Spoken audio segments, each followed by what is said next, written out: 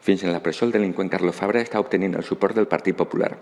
És indignant comprovar que Carlos Fabra només entrat ja optés que sapiguem el primer tracte de favor.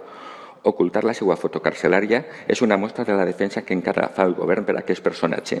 Carlos Fabra és un símbol, una icona de la corrupció al País Valencià i la ciutadania es mereix almenys que es respecte la justícia i se li tracte com el delinqüent que és.